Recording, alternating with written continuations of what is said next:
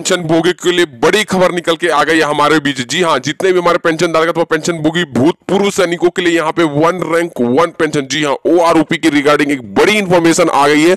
सभी वेटरनर्स जितने भी है ऑल वेटरनर्स को एक इंफॉर्मेशन यहाँ पे दी गई है।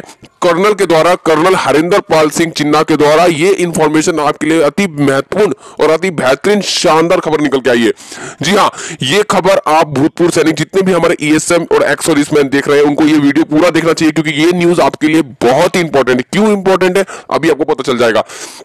सबसे आपको पहले बता दूँ कि ये ओआरओपी के रिगार्डिंग न्यूज़ निकल के आ रही है और अगर आपने ऐसा सोच और ऐसा सपोर्ट नहीं किया तो आपको 2022 में क्या 2023 में भी मिलना मुश्किल है? क्योंकि गवर्नमेंट बस अपना काम कर रही है नए नए चीज़ें ला रही है, जैसे अग्निपथ हो गया, पेंशन पोर्टल हो गया, स्पर्श पोर्टल हो गया, माइग्रेट सब कर रही है, लेकिन जो पीछा, जो हमारा पेंडिंग है, जो हमारा बकाया पैसा है, जो हमारा एरिया है, जिसमें ब्याज है, उस पर कोई ध्यान नहीं दे रहा। आप सभी को बता दें कि मेयर जनरल सतवीर साहब ने पीएम को, रक्षा मंत्री को, सबको लेटर लिखा, लेकिन कोई भी रिस्पॉन्स नहीं मिला। अभी आपके लिए अति महत्वपूर्ण न्यूज़ निकल के आ गई है। चलिए, सभी पेंशन धारक अथवा पेंशन भोगी, भूतपूर्व सैनिकों को सबसे पहले राम राम, आप सभी का हार्दिक अभिनंदन एवं स्वागत है हमारे यूट्यूब चैनल जहाँ पे ओआरओपी का रिगार्डिंग न्यूज़ दिया जाता है।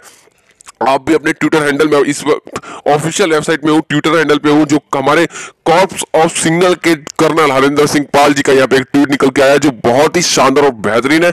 आप सभी को ये करना चाहिए ये एकजुट ये यूनिटी चाहिए हमें एक्स सर्विसमैन भूतपूर्व सैनिकों से ये यूनिटी चाहिए। अगर आपको ये वीडियो अच्छी लगी तो ज़रूर एक यस लिखिएगा क्योंकि मुझसे इस, मुझे इससे ये पता चल पाएगा कि आपको मेरी बातों से आप सहमत है। देखिए वन रैंक वन पेंशन जो एरियर है उस पर सरकार हमेशा टालते जा रही है और टालते टालते 16 दिसंबर तक भी हो गया और यहाँ पे जब सितंबर 17 सितंबर को आना था ओ का एरिया, उसके बाद फिर तीन महीने का एक्सटेंशन मिल गया। उसके बाद भी अभी मैक्सिमम पचास दिन हो गए, लेकिन अभी तक और तीस दिन बचे हैं। मतलब और तीस दिन अभी तक कोई भी ऐसा खबर पॉजिटिव मतलब कोई भी पॉजिटिव खबर नहीं आई है ओ आर के रिगार्डिंग और आपको बता दें कि अभी आप ये न्यू मैं पढ़ूँगा, इसको अच्छे से आपको विस्तार से बताऊँगा कि all veterans of the arm forces should experience their resentment about Agnipath and यहाँ पे अग्निपथ को अगर हम हटा दे तो and non payment of full OROP जो अभी तक हमारी पूरी ओआरओपी नहीं हुई है, ना ही कोई इंस्टॉलमेंट हुआ है, ना ही कोई हमें किस्त मिली है पैसा. Even arrear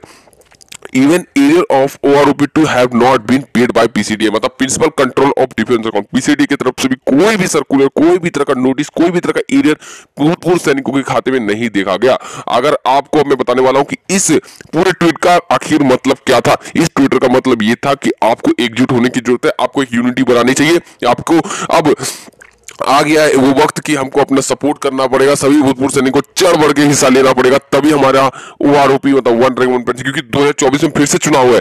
और आपको पता है, चुनाव होने से पहले प्रचार तो बहुत होते हैं बड़े बड़े वादे भी होते हैं कि भूतपूर्व सैनिक को इतना करोड़ का डिसबर्समेंट कर देंगे, ये हो जाएगा, वो हो जाएगा, लेकिन बातें बहुत ही है, लेकिन अगर पेपर में देखा जाए तो पेपर में हर कार्रवाई की जाती है, लेकिन ग्राउंड इंप्लीमेंट ज़ीरो है। अगर आप मेरी बातों से सहमत है तो मुझे नीचे रेड लाल कलर बटन दबाएँ और हमारे चैनल के साथ जुड़े और बताएँ कि क्या मेरी बात सही थी, अगर आप मेरी बात से सहमत है यस ज़रूर लिखेगा सभी भूतपूर्व सैनिक से नियम निवेदन है यस लिखेगा। तभी मुझे पता चलेगा कि आप को हमारी बातों से सहमत है। चलिए नेक्स्ट वीडियो में एक फिर से अपडेट लेके मिलेंगे। आप भी अपने ट्विटर हैंडल में कर्नल हरेंद्र पाल सिंह का ट्विटर देख सकते हो, ये एकदम ऑफिशियल नोटिफिकेशन था। जय हिंद, जय भारत, वंदे मातरम।